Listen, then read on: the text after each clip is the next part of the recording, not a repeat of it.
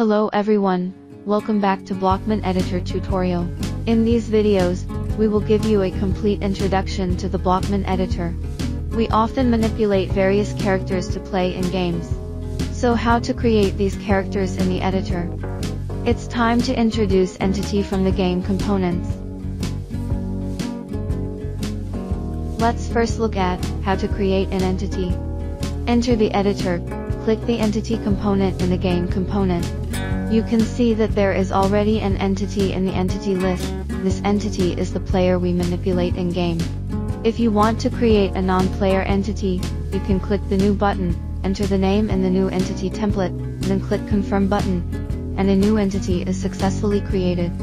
After the creation is complete, we can find the properties of this entity in the property view on the right side of the editor. First, check out the basic properties of the entity. To begin, we need to determine the entity profile photo and actor model. The entity profile photo should be an image in PNG format. According to the editor's regulations, the pixel of the image must be a multiple of 32. As for the properties of actor model, player entities and non-player entities are somewhat different. Player entities have a actor type property, which includes two options, Blockman Go Actor and Custom Actor. Blockman Go Actor refers to the character set by the player on the Blockman Go game platform. If the actor model is selected to be this option, then the actor model, when entering the game will be based on the character and costume set by the user in Blockman Go platform. The custom character allows us to choose the character model in the editor. The setting of this option is consistent with the character model properties of non-player entities. We can determine the actor model by clicking the resource selection button, or find the specific actor file in the asset management view, and add the actor model by dragging and dropping the actor file. Most of the entity's creature attributes are some fundamental settings, you can have a try yourself. Here we mainly focus on the two attributes of behavior on death and entity view height. The behavior on death attribute is divided into two parts, death action and death sound. The death action attribute requires us to enter the exact action name and determine the duration. The death action needs to be added in the actor editor.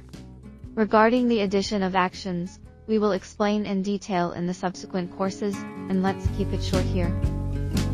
In death sound effect property, we can set whether the sound effect can only be audible to self only, whether it is played in loop, and the volume. Note that the death sound requires an audio file in MP3 format. Regarding the attribute, entity view height, its value range is between 1 and 2. When we set the entity view height to the minimum value of 1, what we see will be close to the ground. When we set the entity view height to the maximum value of 2, what we see is relatively far from the ground.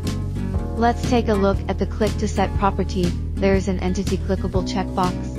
When we check this option, this entity can be clicked by other entities. Meanwhile, other players will not be able to use normal attacks to damage this entity. However, it should be noted that this option only affects normal attacks. If other entities use skills, they will still cause damage to this entity. Regarding the setting of the HP bar and name property, what we need to pay attention to is that the property name position. The value of this attribute can not only affect the display height of the entity's name, but also affect the height of the entity's health bar. You can adjust it yourself and check the effect. In the entity's battle property view, we can set the attributes that some entities may use in combat. For example, if we check the attribute the entity cannot be attacked, then the entity will not be damaged by the attack from other entities but it will still take some other damage. For example, let's add a flame part, and edit the logic of collision damage entities. Entities that have checked the entity, cannot be attacked, will still take damage after touching the flame part. And if we check the attribute, the entity cannot be damaged, then the entity will be in an invincible state, and will not take damage from any party. As for the attribute of attack immunity time, it will only take effect after the entity is damaged. For example, we set the immunity time to 3 seconds. When the entity is damaged, it will stay invincible for 3 seconds. During the 3 seconds, the entity will no longer take damage from any party. For the attribute of entity damage, the value we set will be used to calculate the skill damage of the current entity. If we want an entity to have a default skill, when it enters the game, it can be achieved through the entity skills attribute. Click the Add button on the right side of the entity skill to add a skill bar. Then, we can click the skill bar to select the corresponding skills.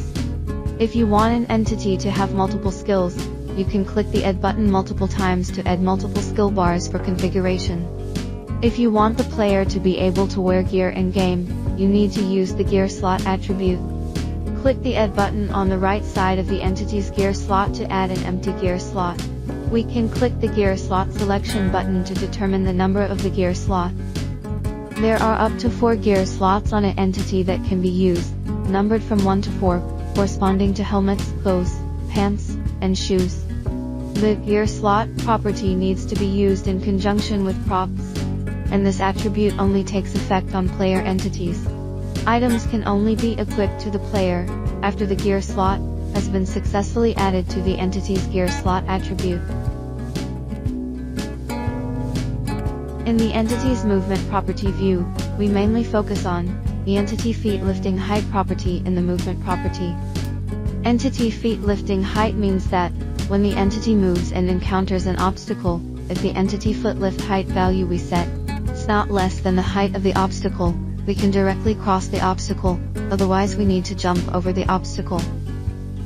Then let's look at the leap property of the entity, we can control whether the entity can jump, by checking the entity leaping attribute. If we want to make the entity jump higher, we need to set it through the entity leaping speed property. The higher we set the value of takeoff speed, the higher the entity can jump. Regarding the automatic jump height it means that, when the entity moves and encounters an obstacle, if the height of the obstacle is greater than the entity feet lifting height, and less than, or equal to the automatic jump height, the entity will automatically try to jump over the obstacle.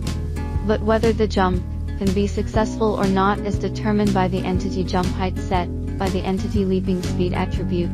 You can try to set it.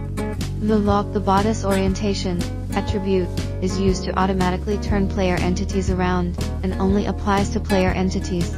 When we check this property, if the entity's head and body are facing different directions, the entity's body will automatically turn to the direction that the entity's head is facing towards. And if this property is not checked, only when the entity's head rotates beyond a certain angle, will the entity's body follow the head to rotate in the same direction. Regarding the two attributes of landing damage threshold value and landing damage scale, both are related to the damage entity takes after falling from the air. The landing damage threshold value means that, when an entity falls from a height, the landing speed will become faster and faster, due to the influence of gravity and height. When the landing speed exceeds the threshold range, the entity will take landing damage. The landing damage scale means that, when the landing speed exceeds the landing damage threshold, the player will receive a certain amount of damage according to a preset set ratio. In the entity's physical attribute view, let's first look at the properties related to the collision volume. If we want the entity to have actual collision effect with other entities, such as an NPC, we need to check the Enable Collision Effect property. If this property is not checked, the collision between entities will have the effect of passing through the mold. For example, we place an NPC entity in the scene. When Enable Collision Effects is checked, it can be clearly seen that the player entity is blocked when it hits the NPC entity. Without checking this attribute, the player entity passes through the NPC entity. Next, let's look at the property, Entity Collision Volume. There are four types of collision volumes for entities, namely, cuboid, sphere, capsule, and cylinder. Each of the four types of collision volumes has its own unique settings. For example, a cuboid type requires us to set the three values of the length, width and height of the collision volume. The sphere only needs us to set the value of the collision radius.